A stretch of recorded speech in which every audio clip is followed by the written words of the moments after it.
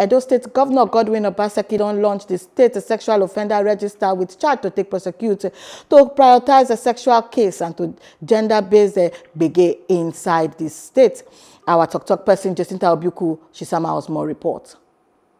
I am sure you all agree with me that history has been made today as we formally launch the first Sexual Assault Referral Center, SARC, which we have named the Vivian, the Vivian Center um, to immortalize the name of Vivian Ogu, who unfortunately uh, lost her life over a decade ago in uh, having been sexually um, abused. I'm using this opportunity to appeal to prosecutors, to appeal to the judges that they should prioritize cases that relate to sexual offenders.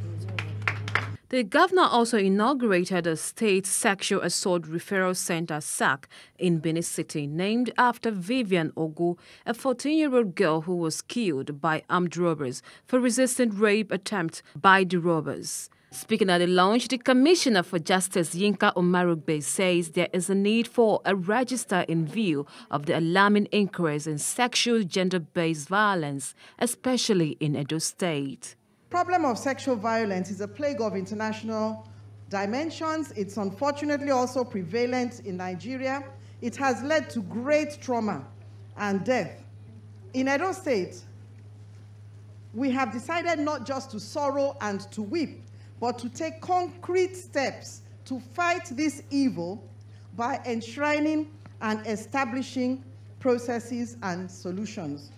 As part of the event, a short story was presented by a group advocacy against sexual abuse. Their lips parched from wailing and screaming, no justice, no peace. Our children should never have to walk the streets of their home with uncertainty hugging their feet. The register will contain information of reported arraigned and convicted people involved in cases of sexual violation or abuse as defined by the Violence Against Persons Prohibition Act. Jacinta Obuku, Plus TV Africa.